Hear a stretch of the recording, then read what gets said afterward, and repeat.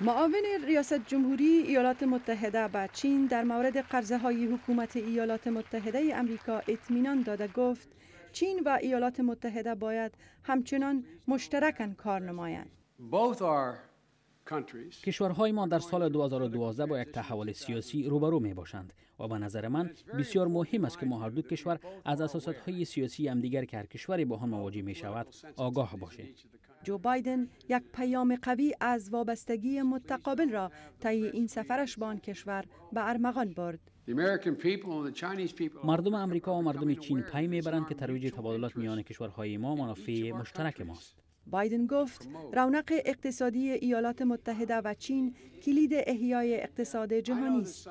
او گفت اگرچه تفاوت نظریات موجود است اما نیاز به تبادلات بیشتر میان رهبران ملکی و نظامی هر دو کشور روی مسائل امنیتی و خصوص امنیت اینترنتی مسائل بحری وجود دارد.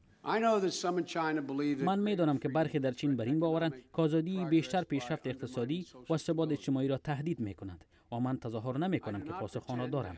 اما با تاریخ باور دارم که برعکس آن را نشان داده است و در دراز مدت گشودگی سیاسی منبع ثبات و نشانه قدرت است. رفاه وقت اوج می گیرد که حکومت از کاربار آزاد اقتصادی و تبادل آزاد مفکوره ها حمایت ورزد. آزادی ضامن رشد کامل مردمان می گردد اما نبود آن نارامی می گردد بایدن گفت هر دو کشور نیاز به ثبات جهانی دارند که شامل جلوگیری از ایران و کوریای شمالی از دستیابی به صلاح ذروی است.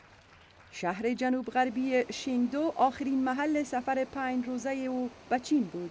وی پس از دو روز جلسات رسمی در پیکنگ امروز وارد شهر شیندوی چین گردید.